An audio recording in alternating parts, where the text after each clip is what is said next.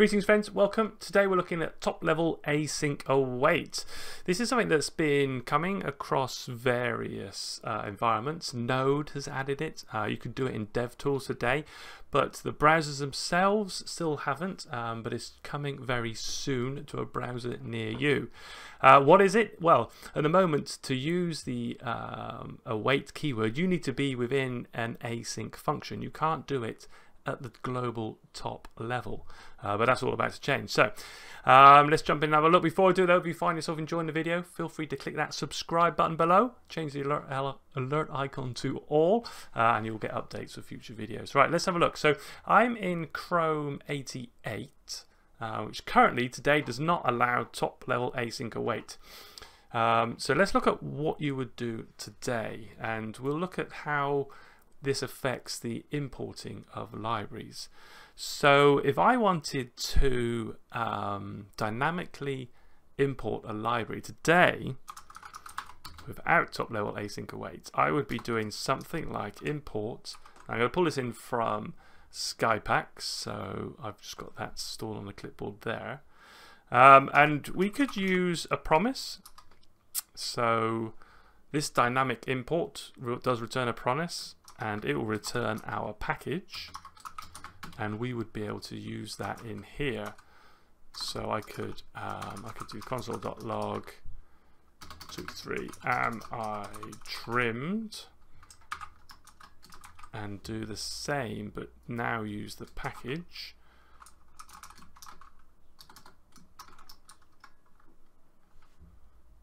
Like so Right, so if I just clear that to see what we've got coming out here. So this is working today. You can use promises and that's not a that's not an issue. But we like to use async await. It's nice, it's easier, it looks better. Um, so let's have a look at how we would do that today uh, in Chrome. Now to change this into async await, we would be doing something like const underscore equals await so we don't need the then anymore. Your code starts to look a lot nicer. Um, so that's what I would like to do. So let me clear this and just put a change in here to make it update. Okay, so today in Chrome 88, we're getting an error. Um, that is because we're not allowed to do top level async await. Now the way around this, if you're not going to use promises and you want to use this, you can put it within a function, that's fine. Async await works within functions, just not at that top level.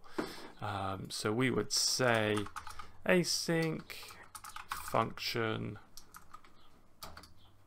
and we can just put all of this inside there and then uh, immediately execute it back to the old iffy world. And if I clear that now and get it to update again.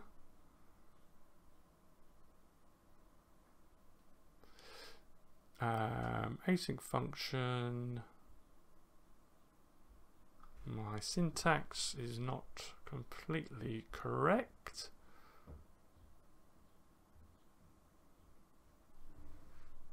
I don't think I, I don't think I need to give it a name, do I?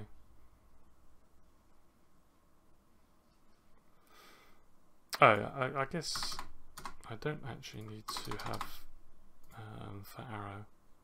Okay, so yeah, there we go. Let me just clear that again. Get a 2 in there. And we should see that is working again now. You can tell that you can see that we're getting the library in because we're using the underscore uh, trim and it's working on this second statement here. So today, that is the kind of workaround, but we would like to get rid of the whole of this iffy stuff um, and just have it working like this. But that does not work in Chrome today. Let's take this and head over to Canary, which is version 89. And if I come in here now, and paste that same code that wasn't working, then we should see, voila, it now works. So it's only one version away, so it's coming very soon, and you'll be able to do top level async await within uh, the browser. Uh, there you go. Hope that was interesting. Give me a thumbs up if you liked it. Uh, thumbs down if not. And uh, don't forget to click that subscribe as well. So there's, there's a lot more um, in terms of what this can be used for and so forth. I'll put some links um, into the description for where it is with TC39 um, and some um, documentation from people who have written about it before. Certainly, Rich Harris had a good a good document on it, so I'll link that as well. Anyway, thanks very much for watching. Catch you next time. Bye.